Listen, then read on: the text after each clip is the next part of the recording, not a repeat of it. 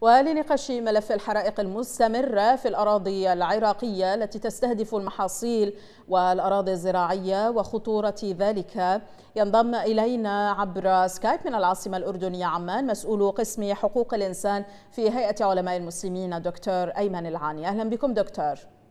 أهلا وسهلا ومرحبا. دكتور هل يمكنكم أن تطلعونا على ما وثقتموه في تقرير قسم حقوق الإنسان بشأن الحرائق والخطورة التي تشكلها مثل هذه الحوادث على الأمن الغذائي للعراق؟ بسم الله الرحمن الرحيم. الحقيقة هذا التقرير هو يعني أتى في جزئين. الجزء الأول تم نشره والجزء الثاني سينشر إن شاء الله قريبا. لحقيقة لكبر هذه الملفات والحوادث التي تستهدف سيادة العراق وأمن المواطن ولا سيما الأمن الغذائي للمواطن. وهذه الحوادث يعني زادت بشكل كبير بل كانت غير موجودة وزادت بشكل كبير في السنوات الثمانية عشر الماضية. وهذا كله حقيقة تحت في ظل حكومات الاحتلال وحكم الميليشيات الموالية لإيران والمتنفذة والمسيطرة على مناطق واسعة من البلاد تتحكم فيها كيف تشاء. المطلوب من هذه ال ال ما تم توثيقه حقيقة هو شهادات لعشرات الشهادات من مزارعين في حقولهم إضافة إلى الشكاوى التي وردت إلى قسم حقوق الإنسان إلى بريد القسم من قبل عدد من المزارعين الآخرين وهي كلها تعزز حقيقة افتعال حوادث إحراق المحاصيل الزراعية التي تتزامن مع موسم الحصاد في كل عام. وهذا طبعا يعني تقف وراءه جهات معلومة وجهات تم ال ال يعني تشخيصها حقيقة من قبل القسم في هذا التقرير. وهو يعني بالمجمل سيكون الأمر متصل بمسألة كما ذكرت هو المس بسيادة العراق وغياب واستمرار غياب آه، الدولة آه، بعد 2003 آه، نعم, نعم دكتور إذا كانت الحرائق تشكل كل هذه الخطورة على الاقتصاد العراقي ما الذي يمنع الحكومة من ملاحقة الفاعلين؟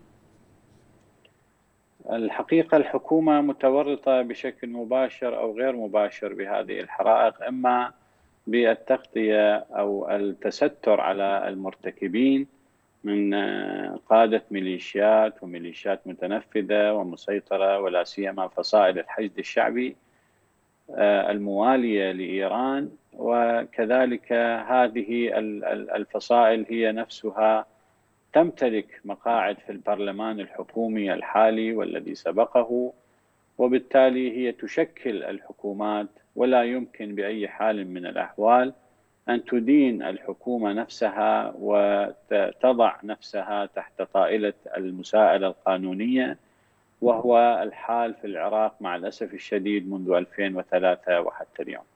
من نعم. يستفيد من التجويع والاستهداف الممنهج للإنسان والقطاع الزراعي ككل في العراق بهذه آه، الجرائم؟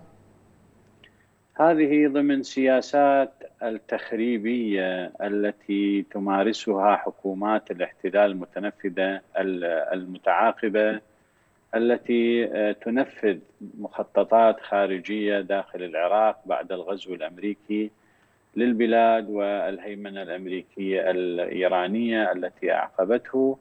فهذا يعني المستفيد أو يعني الجهة التي تقف وراء هذه الحوادث والحوادث المفتعلة التي تسبب خسائر فادحة حقيقة بالنسبة للاقتصاد الوطني والمحلي.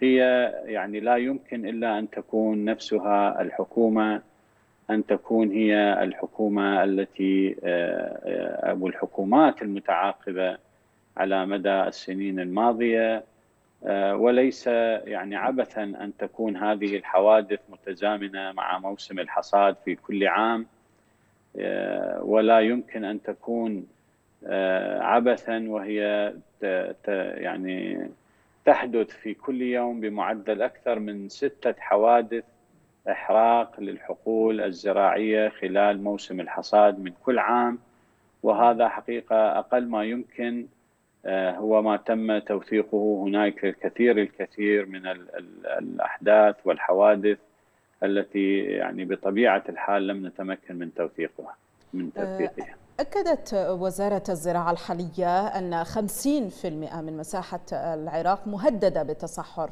إلى أين تتجه الأوضاع في ظل هذه المخاطر البيئية والاقتصادية؟ أختي الكريمة هذا الموضوع يجرنا إلى مسألة غياب الحكومات الوطنية في العراق بعد 2003 وغياب الخطط الاستراتيجية لمعالجة أزمة المياه ومعالجة أزمة الكهرباء ومعالجة أزمة الخدمات الأساسية للمواطن ومعالجة ملفات كثيرة شائكة ومعقدة باتت في ظل حكومات لا تكترث لا للمواطن ولا للوطن ولا يعني همها الوحيد هو آه، تنفيذ أو تنفيذ رغبات الجهات المرتبطة بها خارجيا وبالتالي هو يعني هذا هو الواقع المرير الذي يعيشه العراقيون آه، آه، لأنه يعني لا يمكن أن يوصف هذه هذا الإهمال المتعمد والتقاعس عن أداء الدور الحكومي وإلا يعني آه، عقدين من الزمن مضى عقدان من الزمن ولم تتمكن هذه الحكومات من حل أزمة واحدة. كل ما يجري هو قفز على الحقائق وترحيل الأزمات وهذا آه، طبعا يدفع ثمن ثمنه المواطن العراقي البسيط الذي بات يعاني ونسبة الفقر العالية التي آه، آه، يعني باتت يعني في العراق هي تعكس هذا المنوال وهل يعني ولا يصدق أحد أنه في العراق تكون نسبة الفقر هكذا أو يموت الناس من الجوع والعطش والتشرد وحياة الملايين المهددة بسبب آه، آه، يعني تقاعس الحكومات عن أداء دورها في هذا الجانب. شكرا جزيلا لكم. مسؤول قسم حقوق الإنسان في هيئة علماء المسلمين دكتور أيمن العاني. حدثنا عبر سكايب من العاصمة الأردنية عمان.